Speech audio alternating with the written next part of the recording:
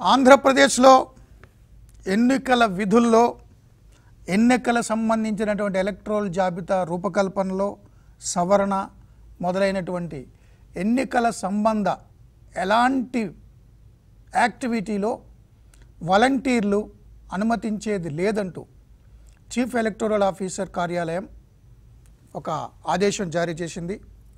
ఇప్పటివరకు కూడా ఆంధ్రప్రదేశ్లో జరిగినటువంటి ఎన్నికల్లో స్థానిక సంస్థల ఎన్నికల్లో కానీ ఇతరత్రోప ఎన్నికల్లో కానీ వాలంటీర్లు కీలక పాత్ర పోషిస్తూ వచ్చారని ప్రతిపక్షాలు తీవ్రమైన విమర్శలు చేశాయి.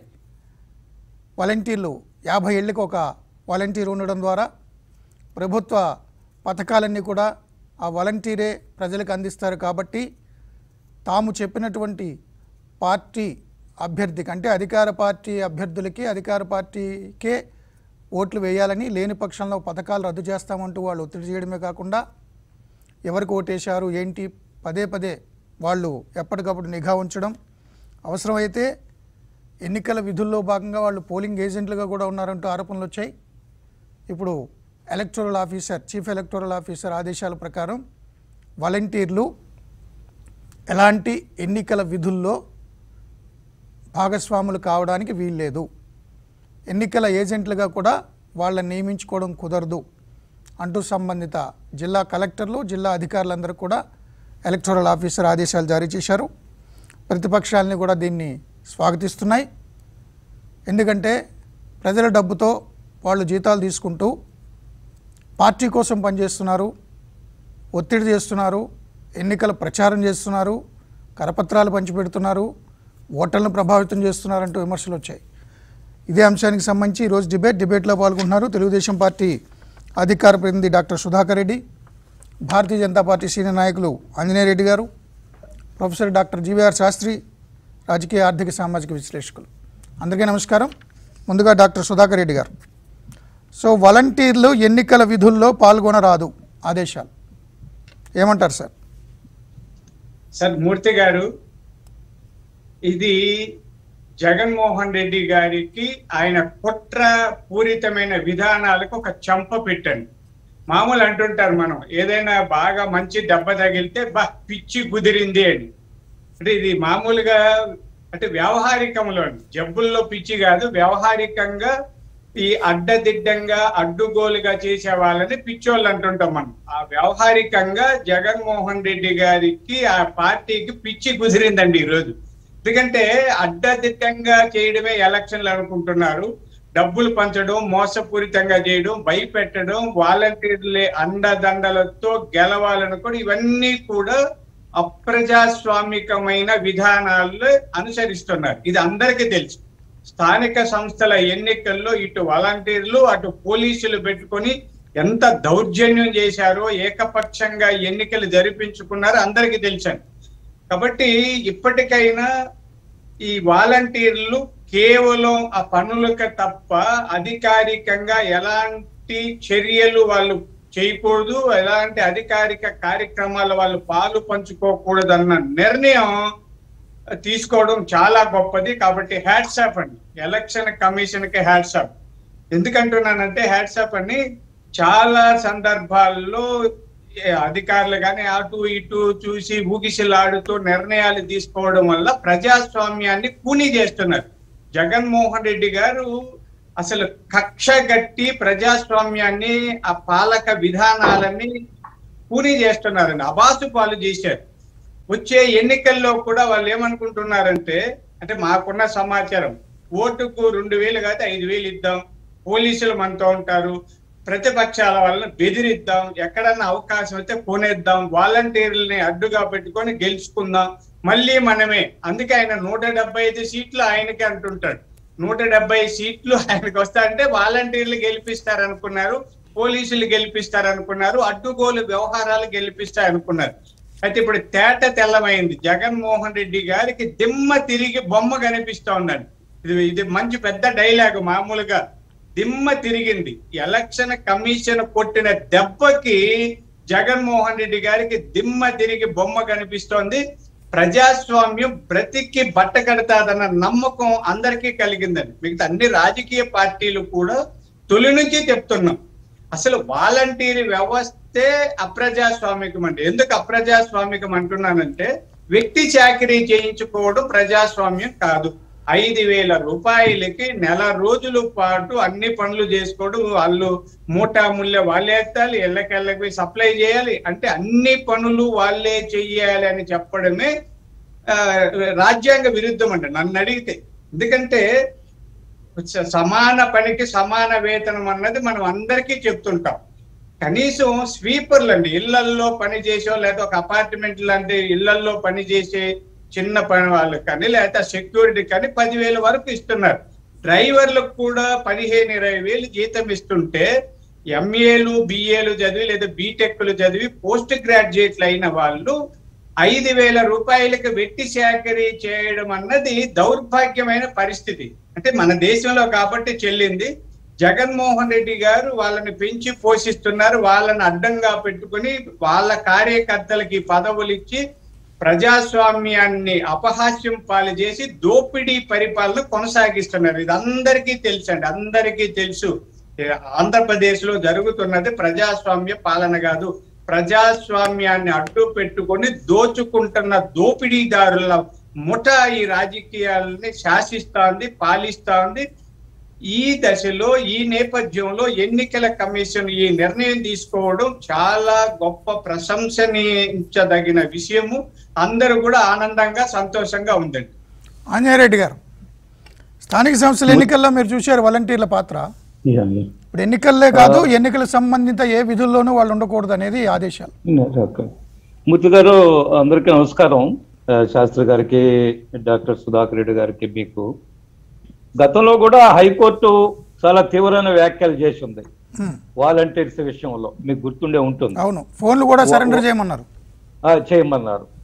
కానీ ఏం జరిగిందో మనం చూసాం హైకోర్టు ఎందువల్లంటే ఈ ప్రభుత్వానికి కోర్టుల మీద కోర్టులు ఇచ్చే ఆదేశాల మీద వాళ్ళకి విశ్వాసం ఉన్నట్టుగా అనిపించడం లేదు. ఇస్తే వాళ్ళు విమర్శలు కూడా చేస్తుంటారు జడ్జిల మీద అంతా కూడా. మన మనం చూసాం కానీ ఈరోజు స్వయంగా ఎన్నికల సంఘమే చీఫ్ ఎలక్టరల్ ఆఫీసర్ సిఈసిని కోట్ చేస్తూ చీఫ్ ఎలక్షన్ కమిషన్ కోట్ చేస్తూ ఒక లెటర్ కూడా పంపించారు. అది కూడా అందరికి కూడా పబ్లిక్ డొమైన్లో ఉంది. చాలా స్పష్టంగా చెప్పారు. నేను మూర్తి గారు చాలా మంది అధికార పార్టీ నాయకులతో మాట్లాడుతున్నప్పుడు కొంతమంది ముఖ్యులు నాతో మాట్లాడుతున్నప్పుడు చెప్పేది. రేపు అసెంబ్లీ ఎన్నికల సమయానికి మా పార్టీ కార్యకర్తలు ఎంతమంది ఉంటారో ఉండరో మాకైతే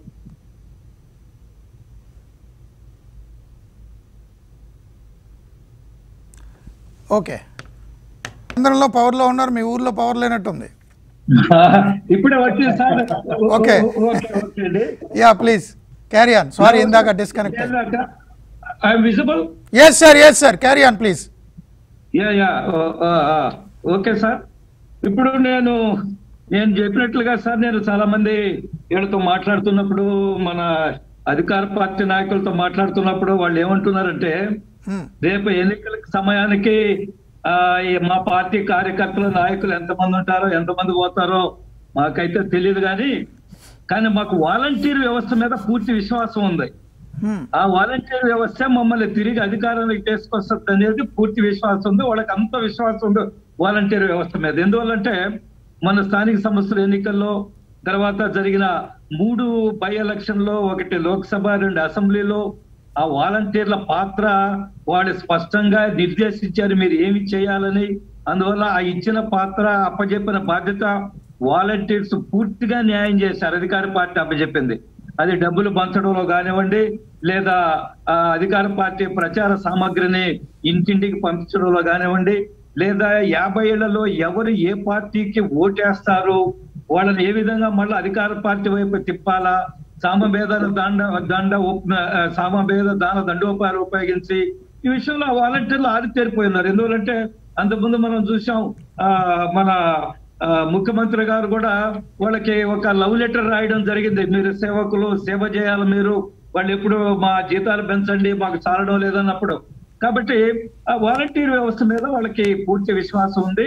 రేపు ఎన్నికల్లో కూడా వాలంటీర్ వ్యవస్థ మీదనే అది వాళ్ళ పార్టీ యంత్రాంగం మీద కంటే వాలంటీర్ వ్యవస్థ ఉంది. వాలంటీర్ దుర్వినియోగం చేయడానికి అన్ని అన్ని అన్ని దారులు వాళ్ళు ఎదుగుతున్నారు కానీ ఈ రోజు వచ్చిన ఈ యొక్క ఎన్నికల అధికారి నుంచి వచ్చిన ఆదేశాలు ఏదైతే ఉందో స్పష్టంగా ఈ పార్టీకి శరాఘాతంగా పోతున్నాయి. అయినప్పటికీ కూడా ఏ విధంగా వాటిని వైలేట్ చేయాలా? ఏ విధంగా ఆ ఈ అధికార పార్టీ అధికారాన్ని దుర్యోగం చేసి ఓట్లు సంపాదించాలని కొత్త కొత్త మార్గాలు ఎదుగుతారు కానీ ఏదేమైనా ఈ పార్టీ యొక్క దుర్మార్గాలకి ఎన్నికల సంఘం నిష్పక్షపాతంగా చీఫ్ ఎలక్టరల్ ఆఫీసర్ లెటర్ ఏదైతే వచ్చిందో దాన్ని మనందరం కూడా స్వాగతించాలా? మనం చూడవలసి ఉంది. మనం చూసాం అనేక సందర్భాల్లో ప్రభుత్వ యంత్రాంగాన్ని ఏ విధంగా దుర్యోగం చేసుకొని గతంలో చాలా కొన్ని ప్రభుత్వాలు అట్లా చేశాయి. కానీ ఇంత పెద్ద ఎత్తున వాలంటీర్ వ్యవస్థని లేదా గ్రామ సచివాలయ వ్యవస్థని వాళ్ళ రాజకీయ లబ్ధి కోసము రాజకీయ స్వార్థం కోసము వాళ్ళు ఏ విధంగా ఆ దుర్వినియోగం చేసిన చరిత్ర ఇంతవరకు లేదు.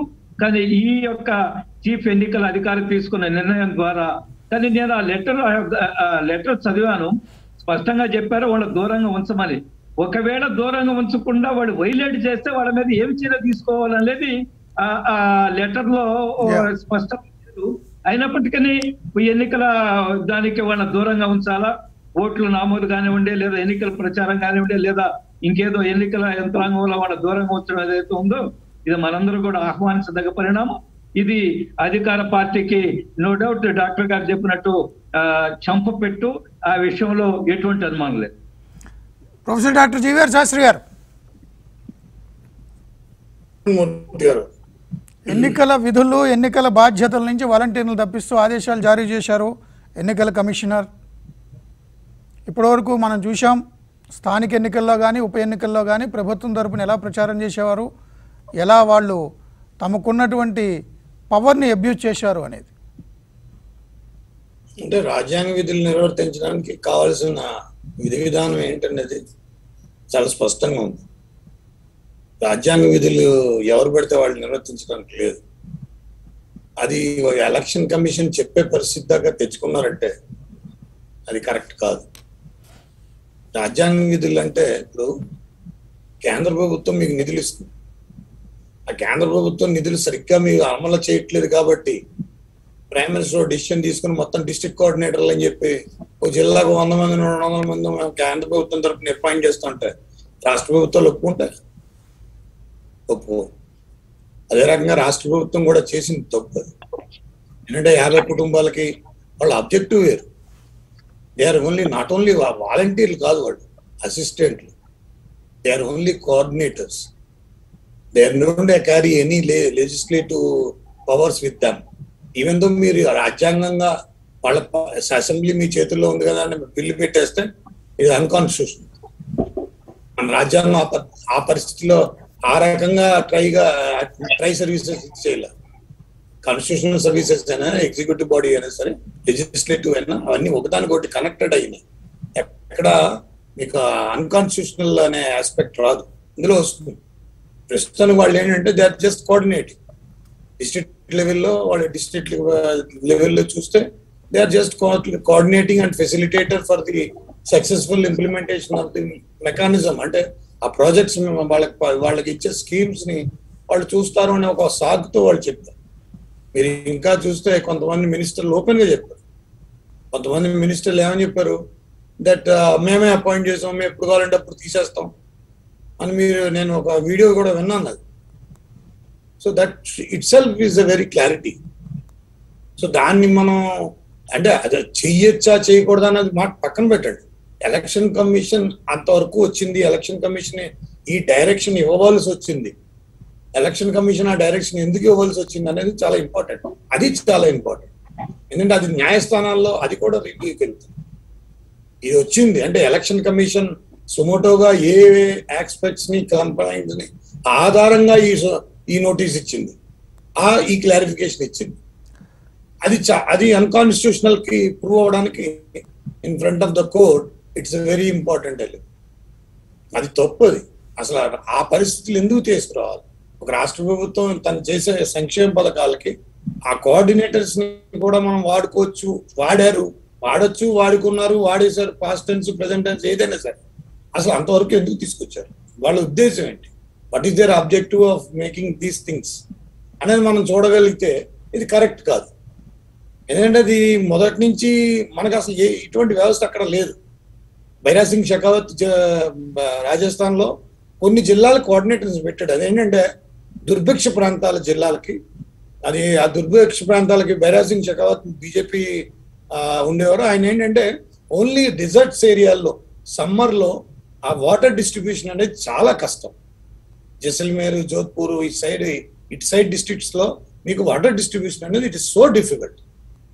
MG Ramachandran కూడా కొన్ని రెండు మూడు డిస్ట్రిక్ట్స్కి వాళ్ళకి వాటర్ డిస్ట్రిబ్యూషన్ కష్టమైనప్పుడు ఆయన కూడా కొంత హెల్ప్ తీసుకున్నాడు. కానీ. వాళ్ళకి ఎక్కడికెక్కడ వాళ్ళని ఐడెంటిఫై చేయలేదు. వీళ్ళు వాలంటీర్లు వాళ్ళకి ఉద్యోగాలు వాళ్ళ జీతాలు. Maybe they gave some contribution towards that district administration contribution ఇవ్వచ్చు. అది హోమ్ గార్డ్ లెక్క. Yeah they can give a contribution there no point.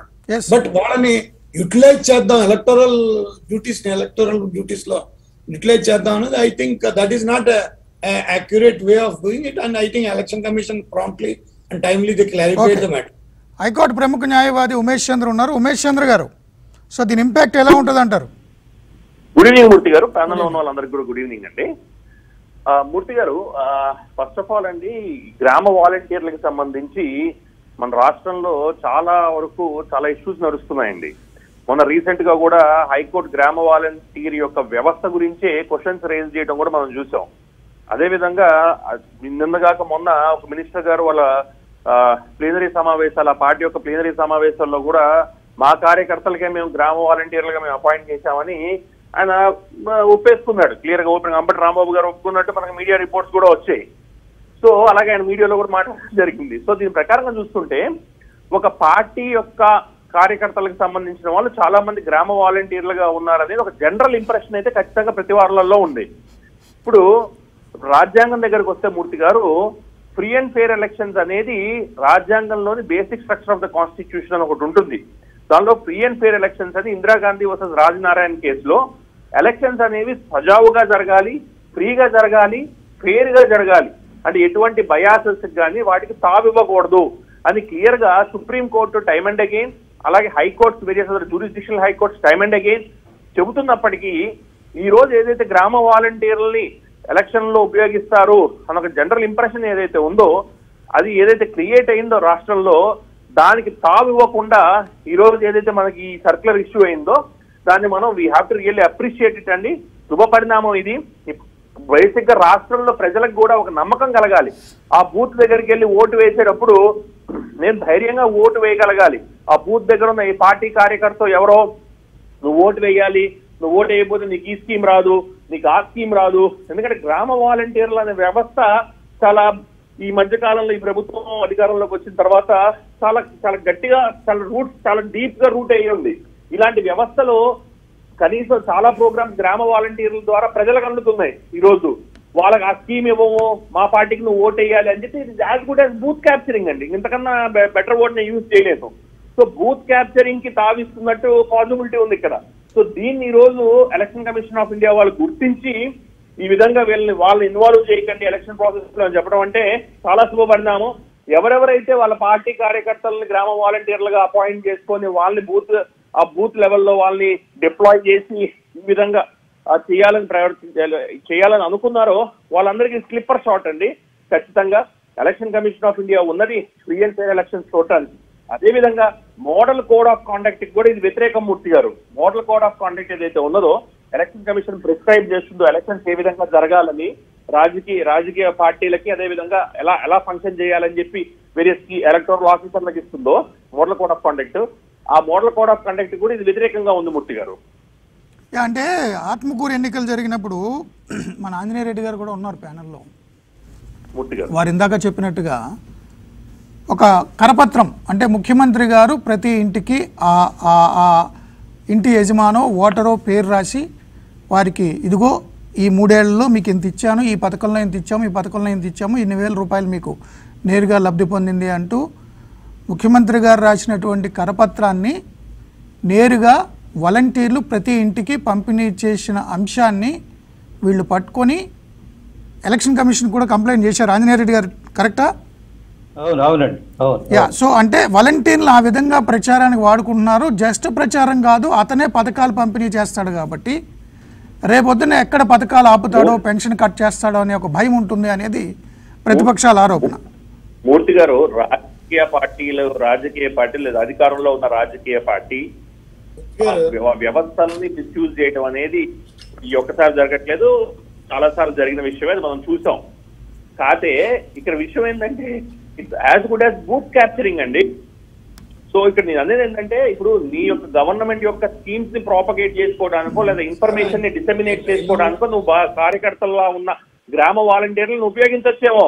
అంతవరకు అగ్రీడ్ అసలు ఫస్ట్ ఆఫ్ ఆల్ వాళ్ళు గవర్నమెంట్ సర్వెంట్స్ వాళ్ళు ఉపయోగించకూడదు. సరే అంతవరకన్నా అట్లీస్ట్ మనం ఎంతో కొంత సరే కానీ అని వదిలేయవచ్చు కానీ వీరు రేపు ఎలక్షన్ డ్యూటీస్లో డిప్లాయ్ చేసి మీరు మాకు కరెక్ట్గా ఓటేసి వేయకపోతే మీకు ఉన్న స్కీమ్స్ అన్ని తీసేస్తామనో లేదా మీరు మాకు ఓటేస్తున్నారో లేదో మేము మానిటర్ చేస్తామనో అనుకుంటే free and fair elections completely against కదా. అలాంటప్పుడు ఖచ్చితంగా ఎలక్షన్ కమిషన్ అనే ఒక independent autonomous body constitutional body has to intervene so ఇప్పుడు జరిగిన పర్టికులర్ ఇష్యూ ఏంటంటే ఒక ఎలక్షన్ కమిషన్ అనే ఒక ఇండిపెండెంట్ అండ్ అటానమస్ శాస్త్రి గారు అలాంటి డెమోక్రసీ మంది కాదండి. ఏదో జరిగితే క్లారిఫికేషన్ ఇచ్చే డెమోక్రసీ కాదు ఇది. Election commission is raisable and responsible and accountable free fair peaceful election ఇదే ఎవడో డైరెక్షన్ ఎవడో డాడీ ఎగ్జిస్టింగ్ ఉన్నదే దానికోసం ఎలక్షన్ కమిషన్ ఎలక్షన్ కమిషన్ ఇది జరగకుండా చూడవలసింది. అంటే శాస్త్రి గారు ఇందాక ఆంజనేయ రెడ్డి గారు ఒకటి ప్రస్తావించారు. మిమ్మల్ని డౌట్ అడుగుతున్నా. నేనే, నేను ఇందాక. ఆంజనేయ రెడ్డి గారు ఒకటి ప్రస్తావించారు. గతంలో వాలంటీర్లు ఇలా విధులు నిర్వహించకూడదని ప్రతిపక్షాలు హైకోర్టును ఆశ్రయించినప్పుడు హైకోర్టు కూడా వాలంటీర్లని డ్యూటీ నుంచి పక్కన పెట్టండి వాళ్ళ ఫోన్లు సరెండర్ చేయండి అన్నప్పుడు కూడా ప్రభుత్వం పట్టించుకోలేదు అనేది ఆంజనేయ రెడ్డి గారు లాంటి వారు ఆరోపణ. అలా ఇప్పుడు ప్రభుత్వం పట్టించుకుందా పట్టించుకోలేదు there are two conditions one is that the primary duty and primary objective of election commission for a free fair peaceful election అది జరగట్లేదు అని మీరు ఒక పొలిటికల్ పార్టీ వచ్చి మీకు కంప్లైంట్ చేసే దౌర్భాగ్య స్థితి మీరు ఎందుకు తెచ్చుకుంటారు you are not conducting your duties in a proper manner first of all election commission చుట్టూ స్టాండ్ ఆన్ దిస్ తెలంగాణలో ఎలక్షన్ కమిషనర్ బయటకు వచ్చి అవును ఇరవై లక్షల మంది ఓట్లు గాయపోయి ఇదైనాయి మేము రిగ్రెట్ చేస్తున్నాం. నువ్వు రిగ్రెట్ చేయడానికి ఉన్నావు? ఎటకరం పెట్టి అక్కడ ఉన్నది కాన్స్టిట్యూషనల్ పొజిషన్లో ఉన్నది రిగ్రెట్ చేయడానికి ఉన్నావా? Is it that democracy that we have defined ఒక ఎలక్షన్ కమిషనర్ ఆ రకంగా సమాధానం చెప్తాడా? అంటే నా పాయింట్ ఇక్కడ ఓట్లు వన్ మినిట్ ఎలక్షన్ ఇరవై లక్షల మంది ఓట్లు మిస్ అయిపోయాయని చెప్పి ఒప్పుకున్నాడు కదా అడ్మిట్ చేశాడు కదా. అలా ఎలా అడ్మిట్ చేస్తాడు? మీరు ఇప్పుడు మనం వెల్కమ్ స్టెప్ అని ఎలా చెప్తాం? యా. ఇది నా నేను. వెల్కమ్ స్టెప్ కాదు. ఇది. రెస్పాన్సిబిలిటీ కవరింగ్ అంటే ఇప్పటికి మేలుకున్నారా మీరు? అంటే ఇది ఈ స్టేట్లో ఎక్కడెక్కడ జరుగుతోంది? మీరు అబ్జర్వేషన్ అబ్జర్వర్స్ ఉంటారు కదా. మీ అబ్జర్వర్స్ ఏం చేస్తున్నారు? పడుకున్నారా? మనం ప్రతిదాన్ని వెల్కమ్ చెప్పడం ఏంటండి? అది జరగకూడదు కదా ఇది అంత. సమస్య. మీకు తెలుసు మాకు తెలుసు. దాన్ని కాదు. అలాంటి election effective election commission is not there that is my fundamental said. commission must be there. Yes sir somebody is raising a eyebrow then i am cla- i am rectifying myself. Got it నేను got ఎవడో రేపు చే- చేస్తే ఎత్తితే ఆ, ఇది ఇచ్చారు కాబట్టి ఆ, ఆయన చెప్పాడు కాబట్టి ఏ- ఆయన ఏ- చెప్పాడు. ఏ- ఆంజనేయ రెడ్డి మూర్తి గారు గారు. యా. ము- మూర్తి గారు నా నా నా సమస్య ఏమిటంటే మనందరూ కూడా తెలుసు. ఒకసారి ఎలక్షన్ నోటిఫికేషన్ వచ్చిన తర్వాత ప్రభుత్వ యంత్రాంగం అంతా ఎన్నికల అధికారుల చేతిలోకి వెళుతుంది పార్లమెంటు అసెంబ్లీ ఎన్నికలు వేస్తే మొత్తం రిటర్నింగ్ ఆఫీసర్ లేదా రిటర్నింగ్ ఆఫీసర్ కింద పనిచేసే ఎన్నికల యంత్రాంగం అంతా కూడా నేరుగా ఎలక్షన్ కమిషన్ ఆఫ్ ఇండియా జవాబుదారీగా ఉంటుంది. రైట్ సార్ సో అందుకనే మనం అనేక సందర్భాల్లో చూసాం ఎలక్షన్ కమిషన్ ఎవరైతే అతిగా వ్యవహరిస్తారో ఎవరైతే రూల్స్ బ్రేక్ చేస్తున్నారో వాళ్ళందరినీ కూడా ట్రాన్స్ఫర్ చేయమని కలెక్టర్లు కూడా ట్రాన్స్ఫర్ చేసిన సంబంధాలు సందర్భాలు ఉన్నాయి. మార్చేసిన సందర్భాలు ఉన్నాయి. కానీ ఇక్కడ సమస్య ఏమిటంటే ఈ వాలంటీర్స్ ఫుల్ ప్లెడ్జ్డ్ గవర్నమెంట్ ఎంప్లాయీసా పూర్తి ప్రభుత్వ యంత్రాంగమా. కాదా? లేదా వాలంటీర్సా? వీళ్ళ మీద ఎన్నికల సంఘానికి లేదా చీఫ్ ఎలక్టరల్ ఆఫీసర్కి ఏ విధమైన అజమాయిషి ఉంటుంది. నేను ఒకటే సొల్యూషన్ నేను వ్యక్తిగతంగా ఫీల్ అవుతున్నానంటే భవిష్యత్తులో ఏ ఎన్నికలు వచ్చినప్పుడు కూడా ఆంధ్రప్రదేశ్లో ఈ వాలంటరీ వ్యవస్థ దుర్వినియోగం కావడం ఖచ్చితము. ఎప్పుడు? వాళ్ళు విధుల్లో ఉన్నప్పుడు. సో వన్స్ నోటిఫికేషన్ వచ్చిన తర్వాత పదిహేను ఇరవై రోజులు గ్యాప్లో ఏం మునిగిపోదు. వాలంటీర్ వ్యవస్థ ఒక ఇరవై రోజులు లేనంత మాత్రాన మొత్తం వ్యవస్థ అంతా కుప్ప కూలిపోవు కదా. ప్రజలకు సేవలు అందకుండా పోవు కదా. ఆ పదిహేను ఇరవై రోజులు వాలంటరీ వ్యవస్థ ఎవరు కూడా బయటకు రావడానికి లేదు. వాళ్ళ ఇంట్లోనే ఉండాలా? ఎవరు కూడా వాళ్ళ యొక్క ఇచ్చిన ఆ, తిరగడానికి లేదని ఒక ఒ- ఒక చాలా తీవ్రమైన రెస్ట్రిక్షన్స్ పెడితే తప్ప భవిష్యత్తులో ఈ వాలంటీర్ వ్యవస్థ నుంచి ప్రమాదాన్ని నుంచి మనం తప్పించుకోలేము ఇది ప్రజాస్వామ్యానికి చాలా ప్రమాదకరమైన ధోరణి.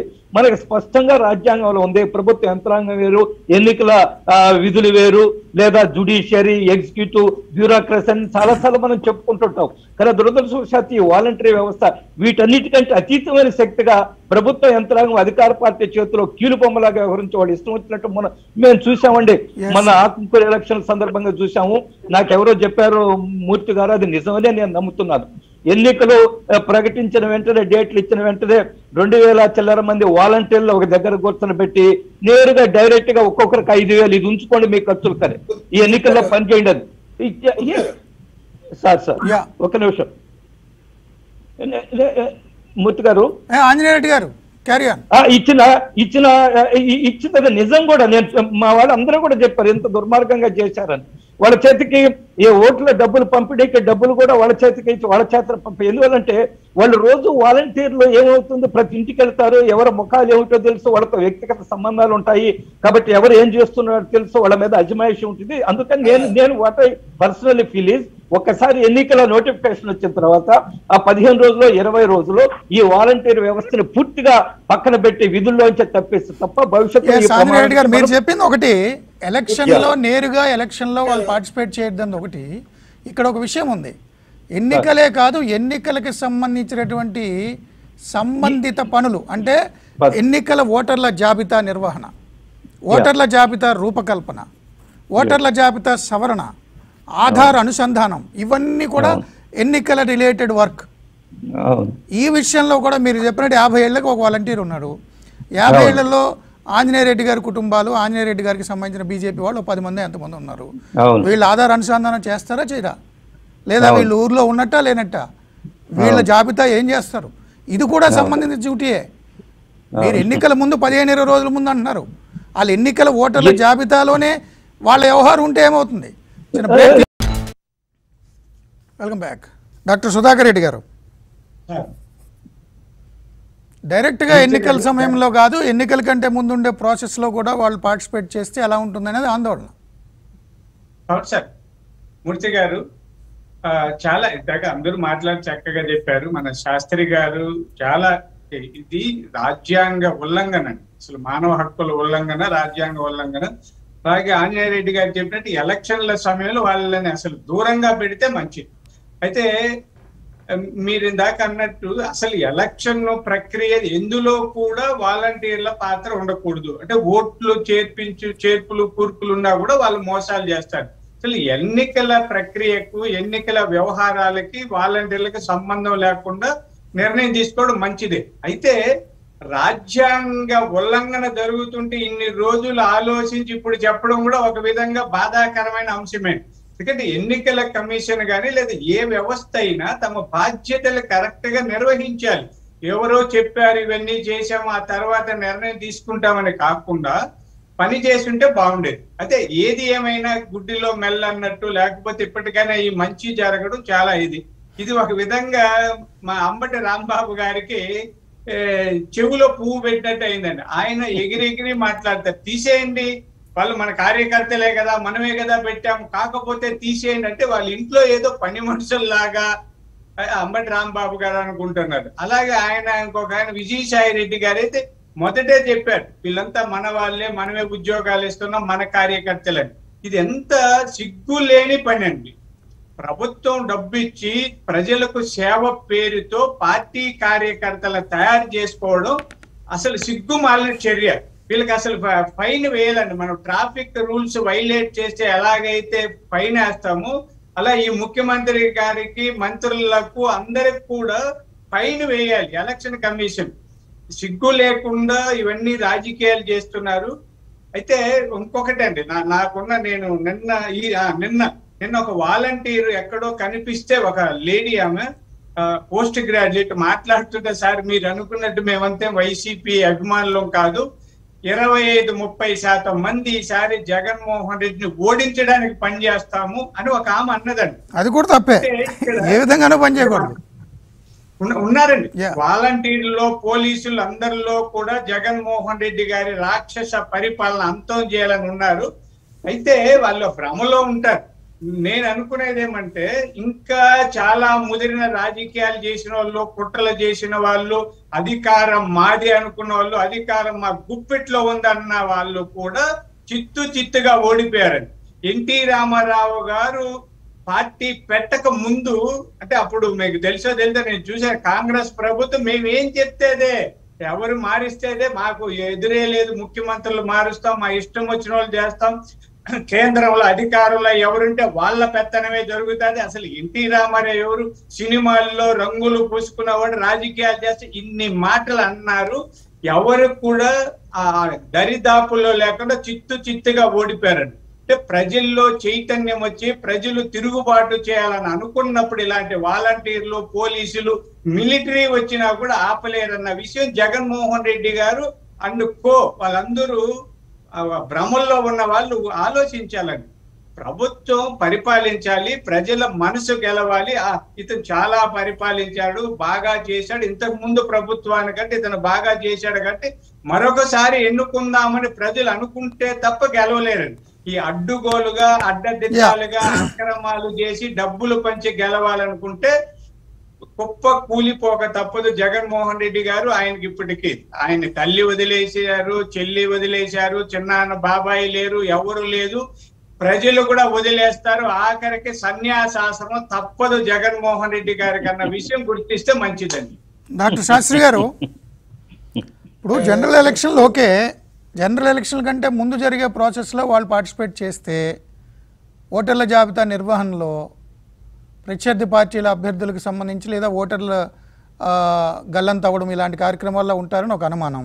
రెండు లేదు ఏదైనా ఇతర ఎన్నికలు జరిగితే జనరల్ ఎలక్షన్ కంటే ముందు ఏదైనా ఉప ఎన్నికలు కానీ ఇతరత్ర ఏదైనా ఎన్నికలు జరిగితే వాళ్ళు ఆ కాసేపు లీవ్ పెట్టేస్తారు రిజైన్ చేస్తారు. మళ్ళీ ప్రభుత్వమే కాబట్టి మళ్ళీ వాలంటీర్లే కాబట్టి మళ్ళీ రిక్రూట్ చేస్తే ఏంటి? ఇలాంటి ప్రచారం కూడా జరుగుతుంది. అంటే ఇందులో రెండు అంశాలు అండి మూర్తి గారు విలేజ్ వాలంటీర్ సిస్టమ్ అనేది వాళ్ళు గవర్నమెంట్ టెస్ట్ చెక్కర్కి పన్నెండు వందల యాభై కోట్ల రూపాయలు ఖర్చు అవుతుంది. ఇంతమందిని మేము విలేజ్ వాలంటీర్స్గా పెట్టుకుంటాం. వాళ్ళు మా పథకాలని governance at the doorstep of the people fifty houses combination అది ఎంత అయితే అంత కాంబినేషన్. అది రాజ్యాంగ విధుల్లో నిర్వర్తించే దాంట్లో రాదు. వాళ్ళ ఆధార్ కార్డు అనుసంధానికైనా పనికిరాదు. దేనికి పనికిరాదు? అది కాదు అది కరెక్ట్ కాదు. ఆ ఏసులకు ఆ విషయం తెలుసు. వాళ్ళు చదువుకున్న పద్ధతి ప్రకారం అది కరెక్ట్ కాదని వాళ్ళకి తెలుసు. అది వాళ్ళకి చెప్పడానికి హండ్రెడ్ పర్సెంట్ అబ్సల్యూట్లీ చెప్పేయాలి. చెప్పకపోతే తప్పదు. ఎందుకంటే ఈరోజు ఎలక్షన్ కమిషన్ బయటకు వచ్చి సెక్యూరిటీ చెప్పింది. కళ్ళు మూసుకున్నాం ఇప్పటిదాకా మేము కళ్ళు మూసుకుని పాలు తాగాం. ఇంకా తాగడానికి లేదని చెప్పి వాళ్ళు వచ్చి చెప్పారు. ఆయన మా ఉమేష్ చంద్ర వెల్కమ్ అన్నాడు. వెల్కమ్ అనకూడదు. ఎందుకంటే నేను ఎందుకన్నా అంటే it is your basic duty to deliver the towards the people of this nation the constitutional duty of the election commission election commission constitutional duty can't be compromised and there should not be any complaints to receive and rectify complaints తీసుకుని rectify చేసే అంత దౌర్భాగ్య స్థితి election commission రాకూడదు. ఈ కళ్ళు open చేసుకోవాలి. It is your basic duty to review every aspect of the election electoral process and election process మీరు అడిగినప్పుడు అంబిగ్యూటీ ఎందుకు అడుగుతున్నారు? అది ఎలక్టోరల్ ప్రాసెస్ అది election electoral process is a part of election process అలాంటి దాన్ని మీరు అంత ఈజీగా ఎలా తీసుకుంటున్నారు? మనం ఎందుకు ఇది- ఒప్పుకోవట్లేదు కదా మనం. ఇది ఒప్పుకోం కదా. దీన్ని విధానం వేరు. మీరు మీకున్న అంబిగ్యూటీ నాకు అర్థమైంది అంటే నేను చెప్పేది వేరు. ఈ వాలంటరీ సిస్టంలో లో వాలంటరీస్ ఒక స్టిప్యులేటెడ్ టైం అయిన తర్వాత కొత్త గవర్నమెంట్ వస్తే ఈ సిస్టమ్ని కంటిన్యూ చేయొచ్చు లేదంటే విత్డ్రా చేయొచ్చు అని ఒక అంబిగ్యూటీతో కనుక వాళ్ళు పనిచేస్తే వాళ్ళకి అది ఆ అంబిగ్యూటీ మీద వస్తే అది మళ్ళీ మనం జగన్మోహన్ రెడ్డికి చేయించాలి లేదా గవర్నమెంట్ వైఎస్ఆర్సీపీ గవర్నమెంట్ మనం కంట్రిబ్యూట్ చేయాలని వాళ్ళ ఆ డెసిషన్ తీసుకోవడానికి guarantee is it not the responsibility of the chief chief secretary of the state మీరు ఏం చెప్పారు? బడ్జెట్లో పన్నెండు వందల యాభై కోట్ల రూపాయలు ఎందుకు?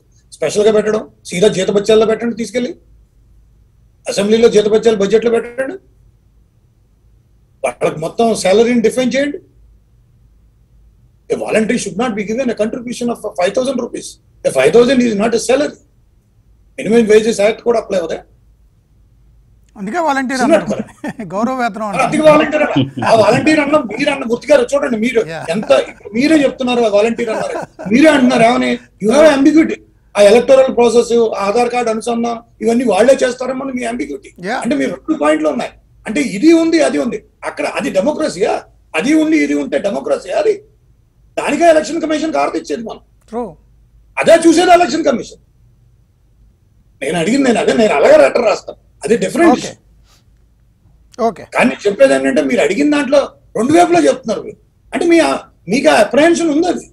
అది మరి మా రెడ్డి గారు ఇప్పుడు మీరు ఆఫ్ చేసినప్పుడు కూడా ఆయన అదే ఇంటెన్షనే అది కదా. ప్రభుత్వ పెద్దలే చెప్పారు. తొంభై శాతం మంది మనోళ్ళే మన గెలిపించాలి. ఇది మీ బాధ్యత. ఓపెన్ మీటింగ్లో చెప్తున్నారు ప్రభుత్వంలో ఉన్న పెద్దలు. అంటే నేను మిమ్మల్ని నియమించిందే అందుకు. వాడు నచ్చపోతే తీసేయండి. వాడిని పెట్టింది మనమే కదా. ఇది- కదా ఇష్యూ. వాళ్ళ పర్పస్ వాళ్ళకి తెలుసు. మనకి అంబిగ్యూటీ. ఉంది వాళ్ళకి అంబిగ్యూటీ లేదు. పూర్తిగా మీరు చెప్పిందే కరెక్ట్. కానీ నేను చెప్పేది ఏంటంటే అంబిగ్యూటీగా అంటే ఎలక్షన్ అనేది ఫ్రీ ఫేర్ పీస్ఫుల్. అంటే మూడు వర్డ్స్ డిఫినేషన్ ఉన్నాయి. ఆ మూడు డిఫైన్ చేసినప్పుడు ఎలక్షన్. కమిషన్ ఆ అంబిట్లో పనిచేస్తుంది. దాంట్లో ఈ అంబిగ్యూటీ రాకూడదు కదా. Yes yes yes Umesh Chandra గారు? మూర్తి గారు. సార్ ఇప్పుడు ఒకటి మూర్తి గారు అన్నిటికన్నా ఎవరైతే అంటే ఇప్పుడు వాళ్ళు ఉపయోగించారా అనేది సబ్జెక్టు ఇది కానీ బట్ ఖచ్చితంగా ఉపయోగించాలనుకున్నప్పుడు ఒక విషయం వాళ్ళు గుర్తుపెట్టుకోవాల్సింది ఏంటంటే ఇందిరాగాంధీ గారు మనకి ఇందిరాగాంధీ వర్సెస్ రాజ్ నారాయణ అనే కేసు ల్యాండ్ మార్క్ కేసు అని. దాన్ని మనం ఎమర్జెన్సీ కేసు అని కూడా అంటాం లేదా ఎలక్షన్ కేసు అని కూడా అంటాం దాన్ని దానిలో క్లియర్గా అలహాబాద్ హైకోర్టు అప్పట్లో గవర్నమెంట్ రిసోర్సెస్ని కానీ లేదా గవర్నమెంట్ మిషనరీని కానీ ఇందిరాగాంధీ గారు లేదా గవర్నమెంట్ సర్వెంట్స్గా ఉన్న గవర్నమెంట్ ఆఫీసర్స్ని కానీ ఇందిరాగాంధీ గారు ఉపయోగించారు. ఉపయోగించడం వల్ల ఆవిడ మాల్ ప్రాక్టీసెస్కి చాలా చాలా మంచి. పెద్ద ఇది గ్రేవ్ విషయం ఇది. మా ఎలక్టోరల్ మాల్ ప్రాక్టీసెస్కి ఆవిడ పాల్పడ్డారని చెప్పి అలహాబాద్ హైకోర్టు అప్పట్లో మనం చూడటం జరిగింది. ఆవిడ ఎలక్షన్ సెట్ కూడా చేశారు. సబ్సిక్వెంట్గా మన కంట్రీలో ఎమర్జెన్సీ ఇన్వోక్ చేయడం సరే అవన్నీ అవన్నీ తర్వాత సబ్సిక్వెంట్ జరిగాయి. సో ఇక్కడ గవర్నమెంట్ మెషినరీని కానీ లేదా గవర్నమెంట్లో పనిచేస్తున్న గవర్నమెంట్ యొక్క స్కీమ్స్ని కానీ లేదా గవర్నమెంట్ యొక్క వీటికి సంబంధించిన వాటిని భుజాల మీదకి ఎత్తుకున్న వాళ్ళని కానీ ఎలక్టోరల్ డ్యూటీస్లో పెట్టడం కానీ లేదా ఎలక్షన్ ప్రాసెస్ మీరు చెప్పినట్టు ఎలక్టోరల్ రోల్స్ క్రియేట్ చేయడం కానీ లేదా ఒక ఓటర్ లిస్ట్ ప్రిపేర్ చేయడం కానీ ఇలాంటి వాటిలో పెట్టితే ఖచ్చితంగా వాళ్ళకి కావాల్సిన వాళ్ళని పెట్టి బయాస్ అనేది హండ్రెడ్ పర్సెంట్ ఉంటుంది. ప్రిజుడిస్ ఉంటుంది బయాస్ ఉంటుంది. సో అలాంటి వాళ్ళని తీసేస్తే కానీ ఎలక్షన్స్ అనేవి ఫ్రీ అండ్ ఫేర్గా జరగవు. ఇందిరాగాంధీ వర్సెస్ రాజ్ నారాయణ కేసులో precisely this point was covered by honourable apex court supreme court of India. అందుకే ఆ తర్వాతే ఫ్రీ అండ్ ఫేర్ ఎలక్షన్స్ అనేవి జరగాలి. అలా జరిగినప్పుడే ప్రజాస్వామ్యం మీద ప్రజలకి నమ్మకం కలుగుతుంది. అలాగే మనం ఎవరైతే ఎన్నుకున్నామో ఎవరినైతే ఎన్నుకోవాలనుకుంటున్నారో ప్రజలు వాళ్ళే ఎన్నుక ఎన్నిక కా- కా- కాబడతారు అనే విషయాన్ని కూడా అగైన్ హానరబుల్ sir. కోర్ట్. ఖచ్చితంగా ఇప్పుడు ఏదైతే ఈ- ఓన్లీ వన్ స్మాల్ క్లారిఫికేషన్ ప్రతి దానికి మనం కాన్స్టిట్యూషనల్ అథారిటీ సుప్రీంకోర్టు దగ్గరికి వెళ్ళి క్లారిఫికేషన్ తెచ్చుకోవాల్సిన అవసరం లేదు. నేను చెప్పేది అంటే ఎగ్జిక్యూటివ్ బాడీ దాన్ని కండక్ట్ చేసే కండక్ట్ చేసే ఎలక్షన్ కమిషన్ దాని విధులు తిన్నగా నిర్వర్తిస్తే పూర్తిగా నిర్వహించగలిగితే చే- గుండె మీద చేసుకుని చేయగలిగితే అసలు ఇంతవరకు రాదు. అంటే శాస్త్రి గారు మీరు చెప్పింది వాస్తవం సార్. ఐడియల్ స్టేట్లో మీరు మాట్లాడుతున్నారు. మనం కాదు సుప్రీంకోర్టుకి వెళ్ళడం. ఎలక్షన్ కమిషనరే పోయాడు బాబోయ్ నాకు రక్షణ లేదని. అది ఆంధ్ర రాష్ట్ర పరిస్థితి. దాని గురించి కదా డిబేటు. నిమ్మగడ్డ రమేష్ కుమార్ గారి ఇష్యూ మీకు తెలుసు కదా. థ్యాంక్ యూ సో మచ్ ఇది